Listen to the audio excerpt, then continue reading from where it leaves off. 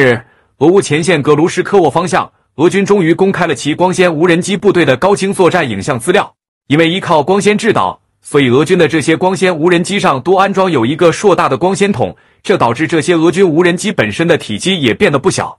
但相对应的，因为乌军电子战系统根本无法干扰到俄军光纤无人机的信号，所以俄军光纤无人机的成像十分清晰，宛如在看电影。无论是执行战场侦察任务。还是自杀式攻击任务，操作都十分流畅。在攻击成功前的最后一刻，甚至能够看清乌军目标上的细节。